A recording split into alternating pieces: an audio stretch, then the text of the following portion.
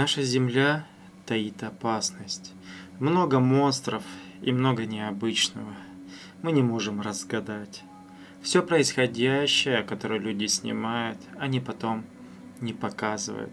Они боятся, что придет что-то за ними и утащит. Меня зовут Тайна НЛО, и сегодня я вам покажу два интересных сюжета про монстров и один сюжет про НЛО. Все кадры, которые вы увидите, они, дорогие друзья, очень секретны. Очевидцы и те люди, которые сталкивались, не хотели показывать его, а именно видеоролик. Все происходящие в разных времени были сняты. Но что нас ждет впереди, давайте вы досмотрите этот сюжет до конца. Оставите свои вопросы, если сталкивались, или комментарии, или колокольчик. Первый сюжет был сделан в китайской провинции Южный Хуанхонг, что на самом деле и дает этому предназначение. Это горная местность, где шаманы и монахи здесь проводят какой-то обряд, что и на самом деле посмотрите, что происходит. Какой-то необычный монстр ползет, а может даже идет. Происходит это прямо на видеокамеру очевидцев. Но что-то идет не так, посмотрите внимательно. Монстр что-то замедляет свой ход, начинает биться или драться с кем-то. Но что происходит? Смотри, яркая вспышка в спину, и монстр просто падает. Падает на землю он от сильного удара. Через несколько времени там будет группа военных. Но что его убило, говорят НЛО. Правда это или нет, дорогие друзья, останется загадкой. Но вот еще один видеосюжет, который появился в китайской провинции. 2016 год.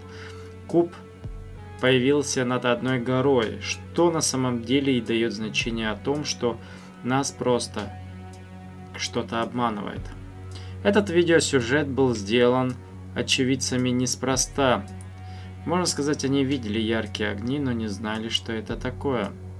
Через несколько времени в облаках стала происходить какая-то необычная форма вспышек. Наподобие молнии, но эта молния не было. Потом начала спускаться все ниже и ниже и зависла над горой. То, что и вы сейчас видите, яркий свет и гору, это, дорогие друзья, отделяет каких-то несколько сотен метров.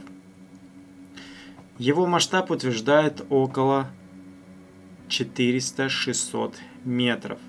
Это только в ширь. В длину неизвестно, но происходящее это появилось именно в Китае. И было сделано заявление военными частями. Группа из военных 18 вертолетов была поднята для уз, ну, не узнать, а именно расследовать, что это такое за объект. После этого оказалось, на этом объекте были какие-то иероглифы, которые вы сейчас наблюдаете. Справа и слева, как будто это энергия. Он, он был в необычном формате, но все-таки оказывается, что этот НЛО открывал потусторонний портал. Заявление было сделано китайскими учеными. Последний сюжет, который вы сейчас наблюдаете, был сделан в 99 году в Белоруссии. Там происходило очень странно. Говорят, на Земле ходят много монстров, а эти монстры боятся не людей, а что-то НЛО как будто. Посмотрите внимательно, кадры, которые вы сейчас наблюдаете, были сделаны очевидцем. Этот необычный монстр просто ползет через поля, Около восьми вечера, и это существо, говорят, вылезло из земли. Но что на самом деле это такое, никто не знает.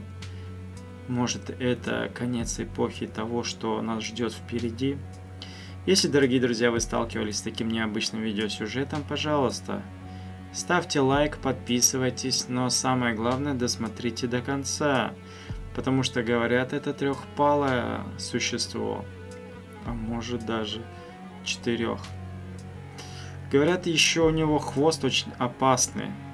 Он убил быка с одним ударом, именно хвостом. Пьет кровь, говорят. Что-то еще много случаев. Но этот монстр обитает в Беларуси. Всем удачи и, конечно, пока-пока.